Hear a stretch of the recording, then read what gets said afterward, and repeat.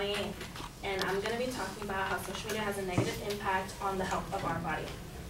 So I'm going to be making a few points. Um, social media can affect your health physically, it can affect your psychological health, and it can also increase the likelihood of you developing symptoms of an eating disorder. So social media platforms are widespreadly used, as all of us probably already know. So Healthline stated that 77% of all Americans have some type of social media platform. And because of this, social media can lead to stress and other psychological symptoms such as depression. And it doesn't mean that you're going to actually develop um, and be diagnosed with it, but you can develop symptoms that can like um, exacerbate over time. So in a study done by the University of Pennsylvania, they took 143 students and they split them up into two categories. They had an experimental group that was limited to 30 minutes of social media use a day. And that was split between three platforms, Facebook, Instagram, Snapchat. And they were only allowed to be on each for 10 minutes, so they were had a 30 minute um, time limit. And the other group was able to continue their habits as they had. So they were just going about their day as they normally do, using their media outlets whenever they wanted. Um, and before the experiment had began, they created a baseline test to see how people actually had symptoms or stuff beforehand to get a good read on it. Um, so they tested for like people having uh, levels of loneliness, anxiety, depression, self-esteem issues, like self-acceptance. And because of that, um, once the experiment was over, they found that the experimental group had their levels of depression, symptoms, and loneliness both declined drastically, and this was able to be seen easily because the group of 143 students that they had in the beginning had higher levels of depression symptoms, so the decline was really drastic and it was able to be seen easily. And according to the ADAA, studies have shown that 20% of people with social media platforms can't go more than three hours without checking them.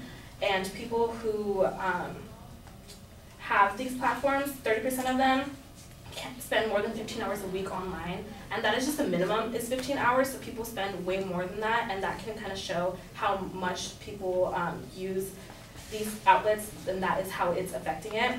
So secondly, I'd like to address how social media can increase the likelihood of eating disorders, and this doesn't mean that you're going to develop one, but it just increases the likelihood of you developing symptoms.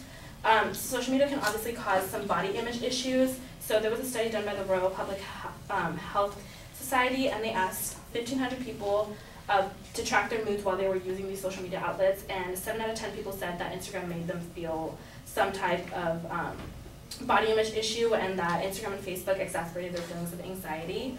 Um, so this basically showed that like when they were on these outlets that everything that they were seeing was giving them some kind of troubling um, thoughts and like some issues with themselves. Um, secondly, it can lead to um, some symptoms of eating disorders. So Pittsburgh University did a study with 1,765 American adults, and they had them answer a questionnaire beforehand about their social media usage, and so they can help develop their risk of catching symptoms of an eating disorder. And their findings revealed that subjects who spent more than um, more engaged time with social media had 2.2 um, times the likelihood of developing symptoms of these kinds of disorders, such as anorexia or like bulimia.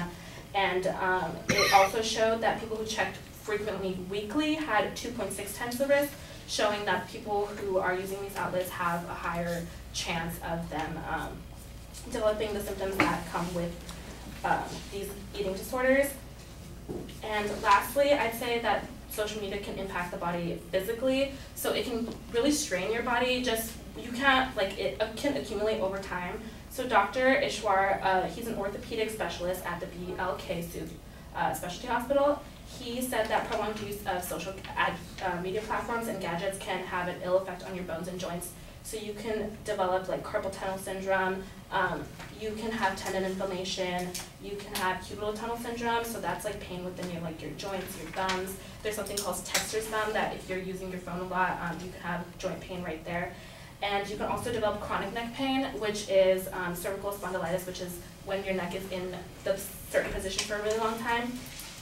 Um, and lastly, social media can also cause uh, sleep deprivation and loss of sleep. So how many of you guys, the first thing you do when you get into bed at night, right before you fall asleep, scroll through your Instagram or Snapchat? Yeah, me too. And then how about when you wake up in the morning and what's the first thing you guys do? Check your phone, like your Instagram or Snapchat. Um, so based off of that, there's a research done by the University of Pittsburgh, and they took 1,700 students and they, well not students, they took people ages from thir- 18 to 30, and they had them um, talk about their sleeping habits and how much social media and um, phone uses that they have right before they're falling asleep. And they found that there was a link between the, um, the sleep disturbances that they had had and um, their usage because people who were doing this were online right before falling asleep and that blue light in um, the devices had an impact on their relaxation and um, they spent a lot of time um, like trying harder to fall asleep. Um, and lastly, like so that that way, um, the social media sites had a higher predictor of disturbed sleep because of the usage. So overall, because of symptoms such as these, like psychological health problems, um, physical health problems, and just the ability to develop symptoms, this is why social media like usage, a lot of it is having a negative impact on our health and body.